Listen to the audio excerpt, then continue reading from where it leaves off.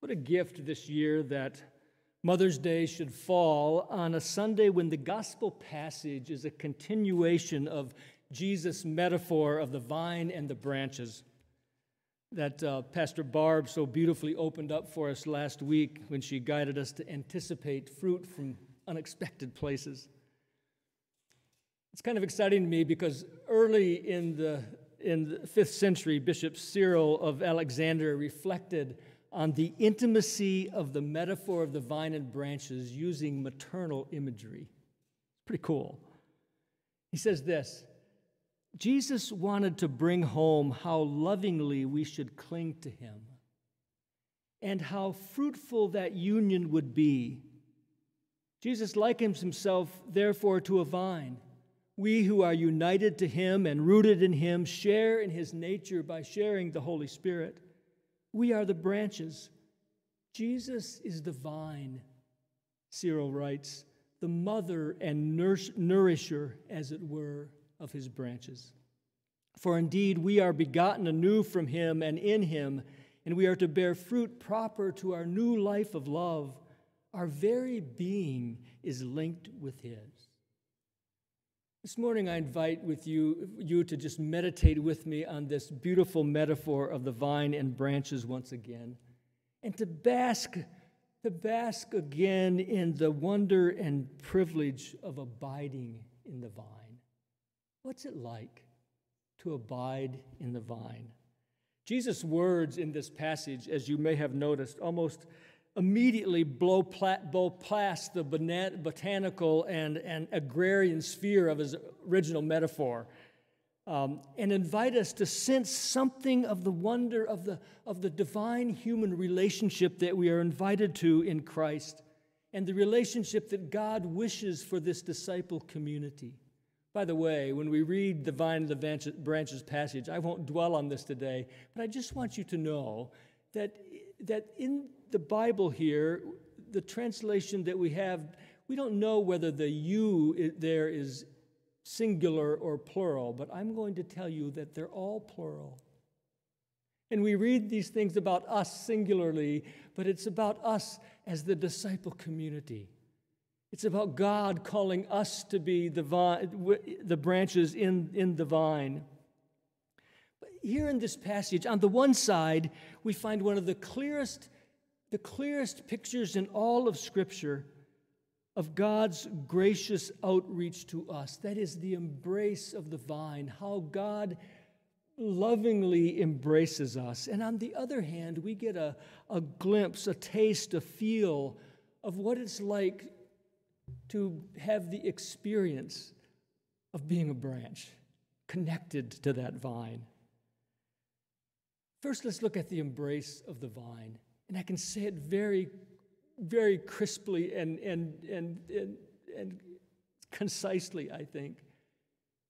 Here it is. This passage so clearly says that the embrace of the vine means that you are loved, you are befriended, you are chosen. Just stop for a moment and let those words flow over you. You are loved, you are befriended. You are chosen.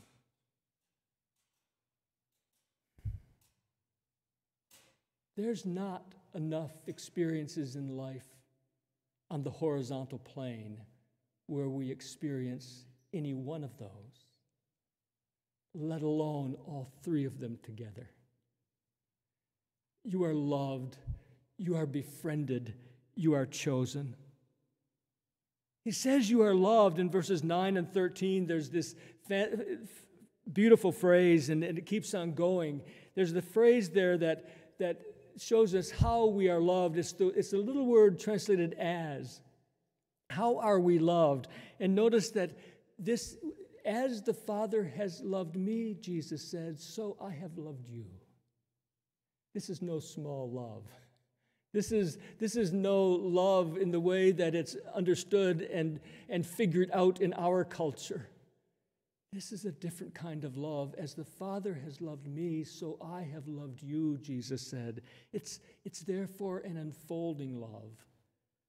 Jesus' love for us enfolds us in the very life of the Trinity. I'm thinking about these ancient writers this morning, apparently, because I think of, of Augustine's uh, imagery of how to understand the Trinity. He calls the Trinity the vinculum caritas. That is, the, the bond of love between Father and Son is the Holy Spirit. The Spirit is what binds this love together. And Jesus now says, As the Father has loved me, bound me together in this love, so I now am inviting you into that love. That we are bound together in this enfolding love so that we actually participate in some way in the life of God, the very being of God. And this passage says that you are loved not only with an unfolding love, but with a, with a sacrificial love. No greater love has anyone than to lay down one's life for one's friends, Jesus said. Which, of course, is the, is the pinnacle of the gospel, of God's outpouring of love on our behalf. And it's a, it's an exclusive love. You know, the little phrase here, the, the if phrase, and the phrase that, that is, says, uh, If you keep my commandments, then you are abiding in me. I want to just wrestle with that for a moment. You know, it could be an if of contingency or conditioned, but I think it's something different. I think it's an if of explanation. It's an if that shows you what it looks like. It's an if of, of showing you that if you exist in this faithfulness, then you are abiding. And so that what was, that's what Jesus was doing. Jesus' keeping of the Father's commands was a sign or a mark of his faithfulness as God's Son and living solely for God. It's an enfolding love, a sacrificial love, and uh, an exclusive love, and it's an enabling, empowering, compelling love. Jesus' love enables and inspires our love for others. That's the recurring refrain in this passage in verse 12 and verse 17. He ends it by saying, I'm giving you these commands so that you may love one another.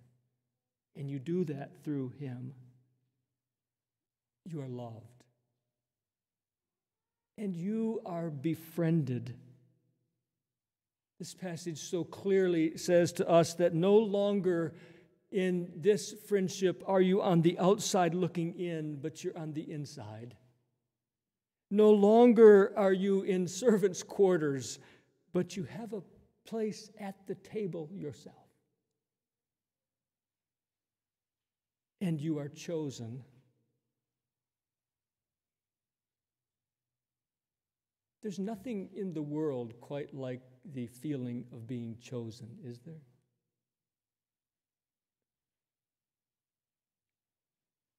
I have illustrated similar points negatively, via negativa, in the past by remembering when I was a little kid and when you did that cruel thing of getting picked for teams. I pick, and, and always being the last one as this scrawny little kid to be picked. But one day when you finally got picked, oh, what a joy it was. And, and, and if you ever got picked first, wouldn't that be something? This, this is so much bigger than that. This is that, this is that God chooses you. This is nothing as small and as insignificant as a pickup game. This is life. And God, the God of the universe, wants you, chooses you. What Jesus is trying to underscore here is not that you don't have some responsibility and able to respond to that choosing, but that it comes first from God's choosing. That our being enfolded into the community of Jesus is the result of God's initiative, not ours. It's a result of God's grace. This is the beauty of being a part of the vine. Embedded and ch- chosen by God, befriended by God, loved by God. What, an ex- what, what a beauty. What, what embrace that the vine gives to us, and what great nurture. If that's the one side, the, the embrace of the vine, then the other side is our experience as branches. What is that like? Very quickly, in sort of parallel fashion, walk through those same phrases with me just for a moment as we meditate on this. You are loved. And having been loved, you abide. It's, it's the, Jesus says it so clearly as the Father has loved me, so I have loved you. Abide in my love. To abide means to remain or to stay in or to settle in, it means to live in. The experience of being loved is the space making, expansive feeling of simply being able to be, to rest, to be held as in a parent's arms or, or nurtured at a mother's breast. It's that kind of intimacy that Jesus paints here. You are loved, and having been loved, you are able to abide, to rest, remain, to stay. And then it comes full circle. You are loved, and having been loved, you abide, and having in, and in abiding, you now are able to love. Because it's out of the strength of that experience and out of that love that you love.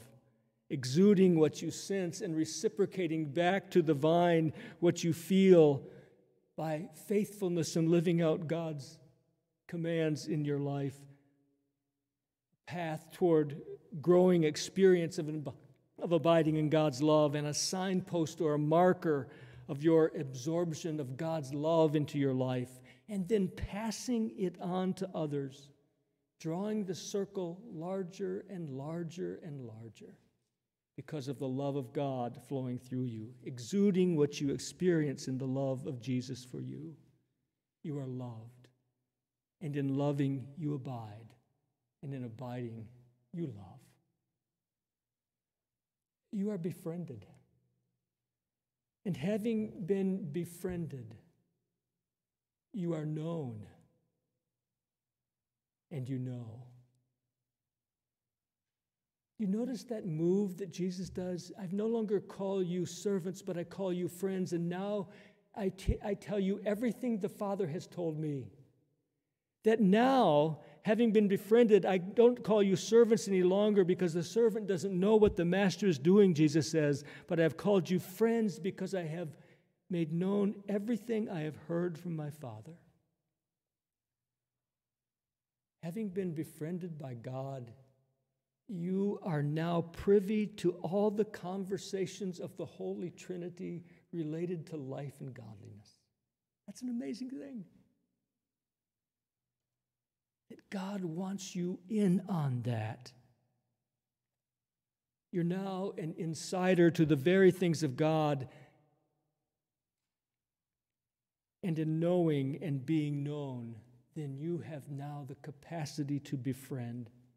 You welcome others inside to the table of God's love in Jesus.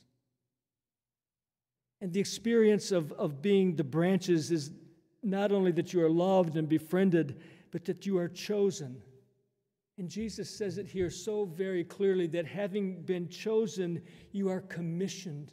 You're given your true identity. And so there you thrive, you flourish, you have meaning, you have a reason to be, and now you participate in the very mission of God in the world, bearing fruit and doing, in doing whatever you do to the glory of God. Notice that he says here in this passage that you bear fruit that will last.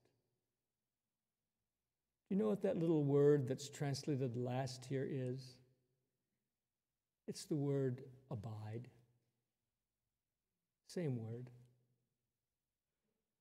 That is, living in God's love and abiding in God's love causes our life to radiate the goodness of God and bear fruit in the world that also abides. So that we actually have this capacity of connecting others to the vine and radiating the goodness of God in the world.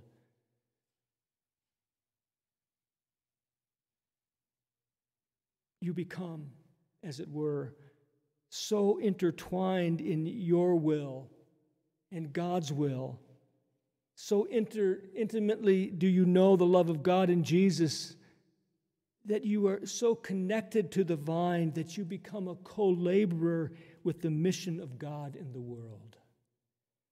I think that's what that little phrase means where it says that now you will ask the Father anything in your name here and you will receive it. Because now, having been chosen, and having been chosen, you are, are commissioned and know your true identity. And in knowing your commission and your true identity in the world, you begin to choose because you're so intertwined with the will of God.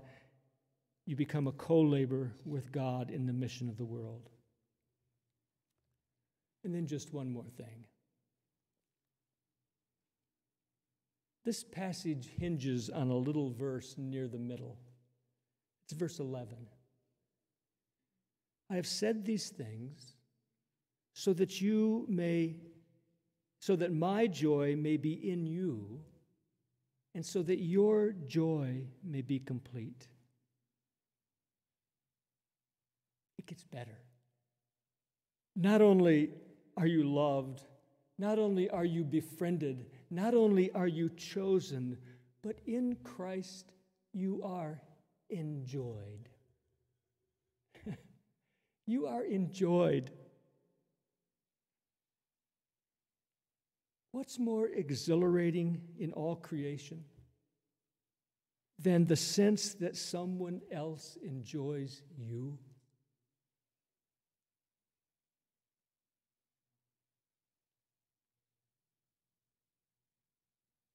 God enjoys you. I put my joy in you. And having been enjoyed by God, you are therefore whole, you're therefore complete in the vine. And having experienced enjoyment, you, you exude joy. You, joy creates joy, even in the midst of difficulty. Doesn't it? There's a fascinating place in, the, in just the next chapter where this word joy is also used. It's in the midst of difficulty. And in the rest of chapter 15, which the lectionary doesn't allow us to read, it talks about the world's hatred in the midst of abiding in the vine. It's there. We abide in the vine in the midst of the difficulties of the world. Look what verse chapter 16 verse 21 says to illustrate this kind of difficulty. It uses the image of a woman becoming a mom. When a woman is in labor, she has pain, and because her hour has come, because her hour has come. But when her child is born, she no longer remembers the anguish because of the joy of having brought a human being into the world. This kind of joy is a deep, enduring, creative gladness that even when it seems unlikely, will inevitably come to connect with Jesus' own joy. Because we have been enjoyed by God. Abiding in the vine, dear friends, we are called and privileged to be joy bearers, to be midwives of joy in and for the world. You are loved. You are befriended. You are chosen. You are enjoyed. Dear friends, let's abide. Let's abide in the vine. Amen.